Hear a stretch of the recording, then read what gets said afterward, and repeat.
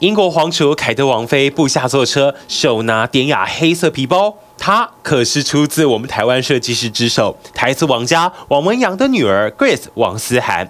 凯特王妃好爱这款包，疫情间出席鼓舞民众时，甚至女王追思会这沉重场合，到后来代表王室出访威尔斯，五度拎着。王思涵这包叫 Later Love，是英国情书包，像以前书信用来传递无私的爱。凯特王妃用这传递温暖给大众，感动到的包含王思涵本人。开幕的时候刚好遇到疫情。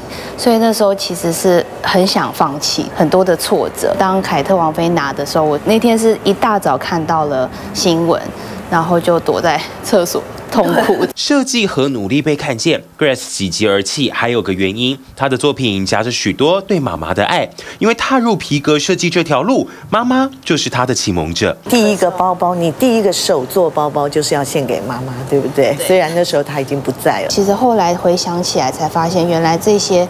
美学都跟妈妈是息息相关。王思涵的品牌 Grace Hand 从二零一一年创立，她的作品中有个经典皮革百褶包。你看这横向二十公分的百褶包，得用一百二十公分的皮革熨烫，成本重，难度高。起初没什么常想理他。蜿蜒设计路前段时间也首度在台湾以展览形态让大家看。爸爸王文洋他也到场。他到现在有时候还在抱怨说，大学选择经济系是选择错误，是我叫他选的。所以他经济系毕业以后就到朋友的皮包厂，从从基层做起。